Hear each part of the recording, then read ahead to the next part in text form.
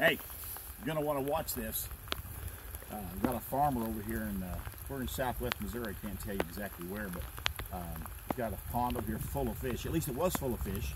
He spotted eight otters over here the other day and got them on camera. And so he asked me to go over here and trap them.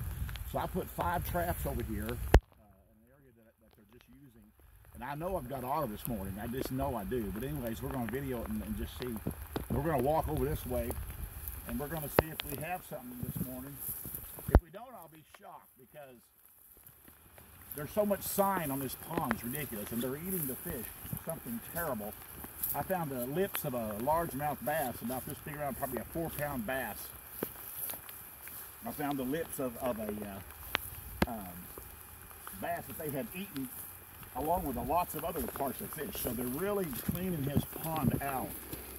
And so hopefully I'm going to be able to catch a, one or two would be helpful, you know, to catch one or two. We'll see. So we're going to walk over here. I got my trap setter in my hand in case we did, we did have an otter. Hopefully we do. Kind of swampy right here.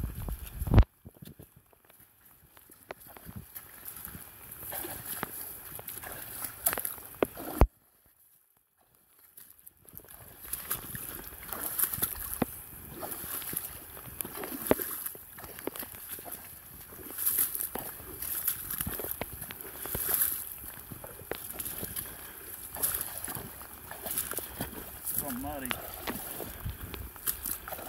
Hopefully it won't fall.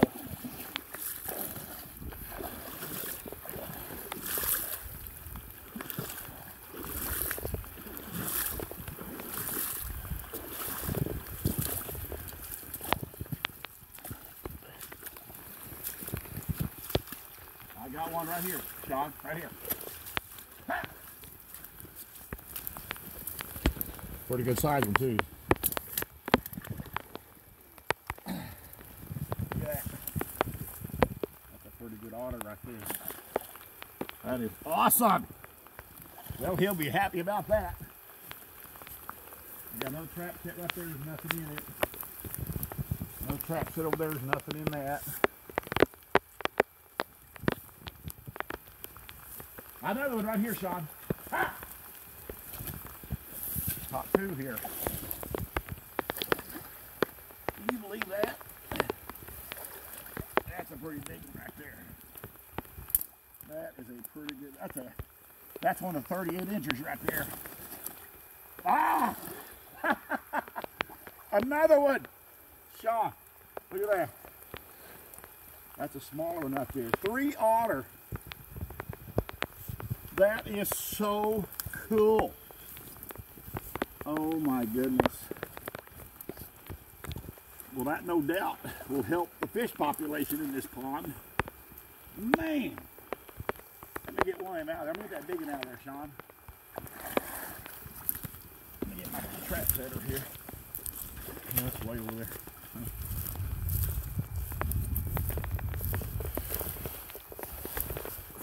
So, a lot of times when you catch an otter in a trap, the rest of them go crazy and they go up and down the bank and in and out in the water and they eventually get caught. That's what's happened here. Because I no doubt had caught one of these. And then uh, the rest of them went nuts. Try to get this out here without too much trouble.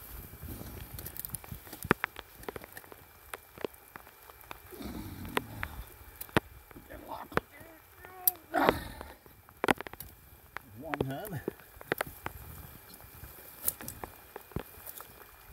280. Yeah, that's what's called a 280 Conibear. The biggest otter I think was caught at 280. I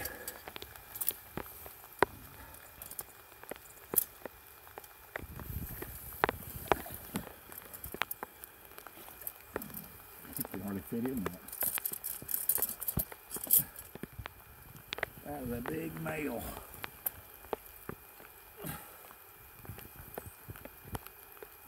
That's a nice otter. Well, that's cool. Well, this farmer's going to be happy. He likes to fish. That is a, that's what we call a 38 inch otter, maybe 40. Too big. Whew. All right, I'll get the rest of these out of here. That's pretty cool. Glad you got to see that. If you look right here, the reason they're coming up in here is called a toilet area. And this is where they're uh, coming up here and uh, doing their thing.